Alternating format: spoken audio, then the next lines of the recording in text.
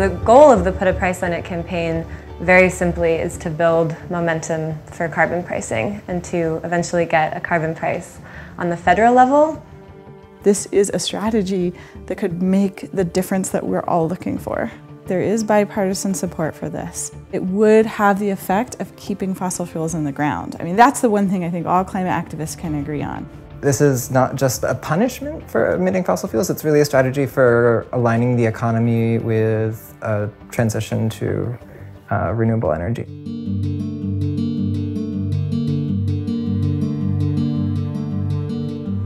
When I first walked into our office, um, I said, I thank you for taking this time to meet with me, and the first thing she did was give me a hug, um, which really showed the connection that she understood the ramifications of the previous day's results and also the importance of how we move forward. And one way to move forward is to endorse a carbon price. He was feeling concerned about the future of our environment and, and worried about what would happen um, in an administration for which this was not a priority.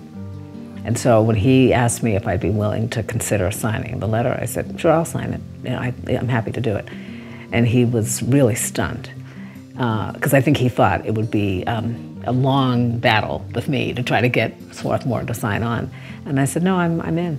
I'm curious what all of you thought when you first heard that your president had endorsed carbon pricing. It was tremendous because here we have this devastating national event but a really encouraging event at a local scale. Felt like hope to see on the local level someone taking a stand and um, showing what's really important to Swarthmore. The little work that I'm doing here as a student can be translated many times over in a coalition that can eventually bring about a large scale change, which is really inspiring. I was really struck by actually something you told me, Nathan.